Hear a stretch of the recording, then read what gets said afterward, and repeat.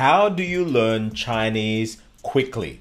How do you learn Japanese vocab quickly? How do you learn any language in this part of the world, this part being Asia and Southeast Asia, quickly? Well, there's no easy solution, but one thing that does it for me is having a really good grounding in just understanding what root words are in Chinese. Now, when I say Chinese, I'm not talking about modern Mandarin. Mandarin is just one tiny little modern snapshot of this huge beast that we call Chinese.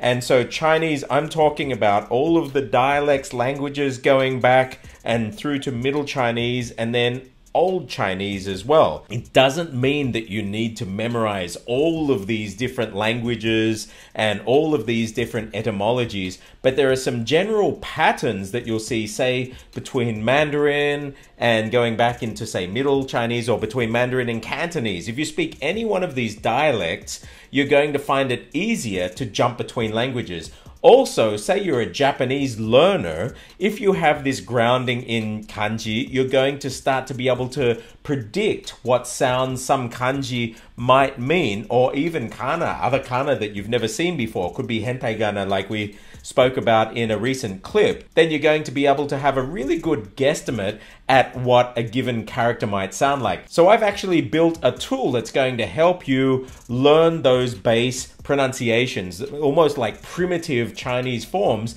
that are going to help you jump between languages, whether it's Vietnamese or Korean or Japanese or Chinese dialects or even Thai. So here, like we're having, this is part of my series that we've been doing Chinese secrets through Japanese kana. And so what I've done here, I've built this sheet, as I mentioned in another clip, that's pulling from all of the hiragana syllables. And so there's a ha. If we go to like su, we can see them there. And so this is the modern hiragana that's come from this kanji. These were alternate kana, which we call hentaigana, but they all basically fell by the wayside and gave way to just this one character nowadays that we use. And here I've got the whole set, so that's sa, shi, su, se, so. That alone is pretty cool if you're wanting to learn all of these forms. And indeed, this is the set that I'm using to teach these semi-cursive and cursive forms of Chinese characters because I really believe through getting these forms into your muscles, in your muscle memory, you're going to feel more natural when you're actually using these characters either in speech or in writing.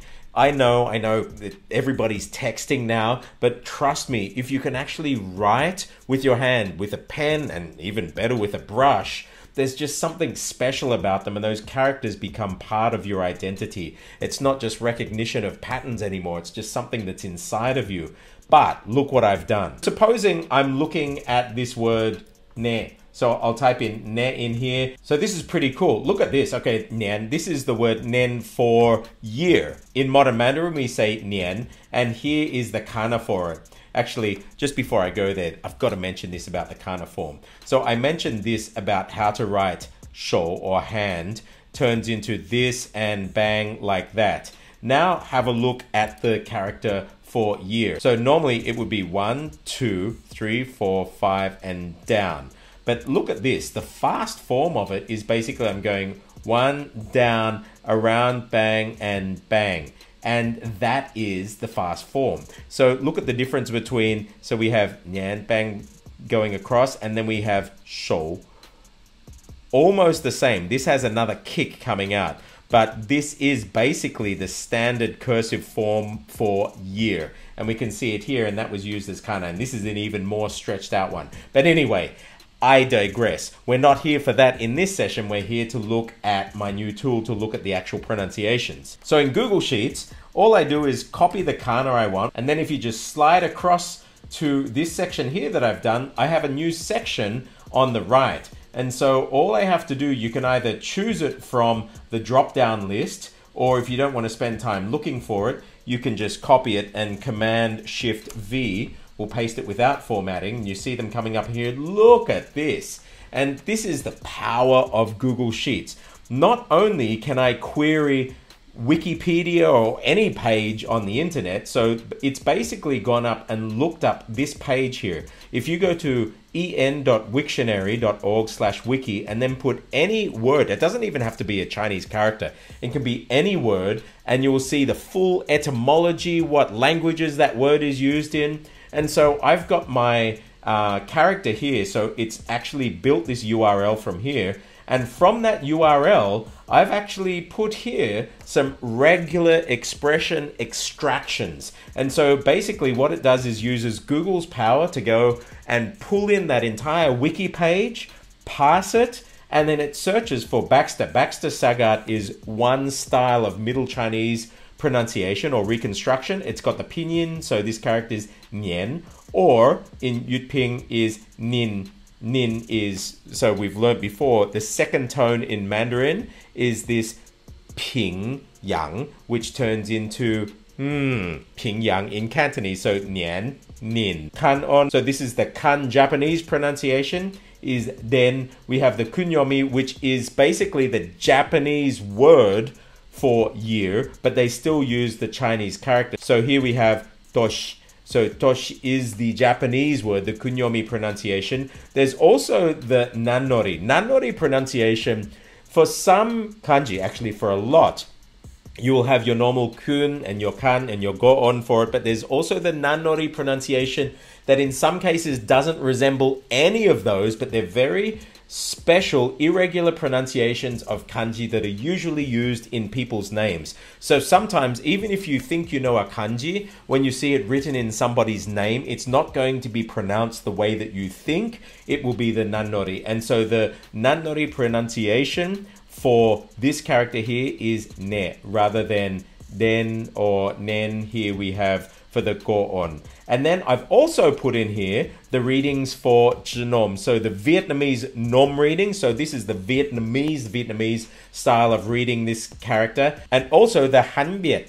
Han Viet is basically the traditional Chinese pronunciation of this character in Vietnamese, according to Vietnamese phonology. And so we have usually these two sets of Chinese. They look very similar. So this one would be Nam, Nen, Nien, Nian could be any of these, but in the Han pronunciation is Nian. Now, there's some junk around there. This isn't a perfect system. If I have a look at another character here, this, let's do roulette with a character or stop anywhere. Let's do that. What's this word? Okay, so this is po, and here it is how is originally ba. I guess that's similar to ba in Thai as well. Here is paw, paw. Again, it's that second tone, which would be the fourth tone in Cantonese, is it? Yes. So paw. So paw in Mandarin, lao paw is paw. In Cantonese, here pa, ha, ha. It goes back, it's aspirated to ha. For the kun, we have that pronunciation. There's no nanori. It's ba in the go on, and it's also ba, ba in Vietnamese, and there's no Han pronunciation that it could find. There may be, this isn't perfect again. I've basically done regular expression extractions and it's gone through and just searched for whatever word that I put here. It will look for that on the page and see if it can pull something out to the right of it if it's in any kind of list. Pretty cool. But this sheet that I've built out now is basically a gold mine now for anybody wanting to learn hiragana, wanting to learn kanji, wanting to learn older styles of handwriting in Japanese and also wanting to learn these ancient pronunciations or alternate pronunciations to characters, Chinese characters, whether it's in Japanese, Korean, even Thai. So, for example, if I type in this word here, I'm going to type in the word to fly. And so, fly here is he in Japanese, and we can see this. I'll do another lesson on actually how to write it and why it looks like that. But here we have per turns to fei, fei, this er turns to a, Fei in Cantonese, Fei I in Japanese. Here and then if we have a look down here, we have fi and by by the word in Thai for fly is bin. So this could have come from pen, pen, pen, bai, bin. They're very similar. I think that probably Thai has the same etymology for the word bin is the same as bai in Vietnamese, which is the same as he in Japanese, which is the same as fei in Mandarin, which is ben in Middle Chinese all mean to fly. That's amazing, but it's really cool that we can actually pull this table in. If I look here, it actually gets wider and that you'll have many more. But basically, anything that I pull in here now is going to show up if it exists in Wiktionary. Awesome stuff. If you want a copy of this, click on the link below. You'll generate a copy. Once you do it, it's going to be able to pull from Wiktionary like this, and you'll have this super cool tool to be able to study your kanji and your kana in Japanese or whatever language it is that you're learning. I hope this is useful. If you want to learn how to do stuff like this and more, come and join my Mindkraft program at jcademy.com. It's the prequel to Cracking Thai Fundamentals, an operating system for your mind to learn language and also tech, the tech skills that you need to be able to exploit all of the amazing data and information that's out there in the environment today. Don't forget to scan the QR code and come and join in the discussion in Discord. I'm Stuart Jay Raj. I'll see you on the other side.